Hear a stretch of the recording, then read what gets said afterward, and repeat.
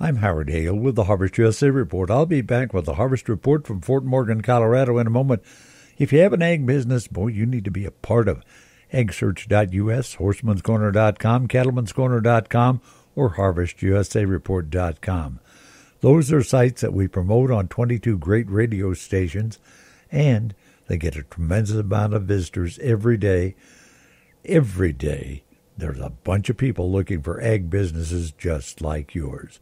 So be a part of eggsearch.us, horsemanscorner.com, cattleman'scorner.com, or harvestusareport.com. Our report today is from Jim Zeorian. He's a Nebraska custom harvester working at Fort Morgan, Colorado. When were you able to get going there at Fort Morgan? We got going on Saturday afternoon. How's crop turning out there? Well, it, this seems to be an area for sawfly, so we're really trying to stay on top of it as as soon as it's ripe. We're trying to get it cut. If we can get that done, we're looking at some pretty doggone good wheat. It really surprised me, you know, 40s and 50s.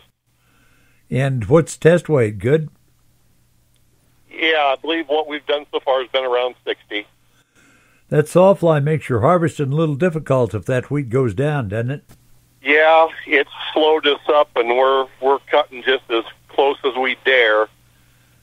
Uh, we're we're sure getting we're getting most of it. I think.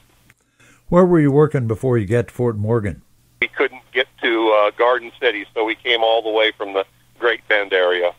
How did it turn out for you in the Great Bend area? They had a really nice crop. We got it out in good shape. Right in the middle of it, we had a pretty good rain, and then it cooled off. We had high humidity and no sunshine, and we sat for eight days.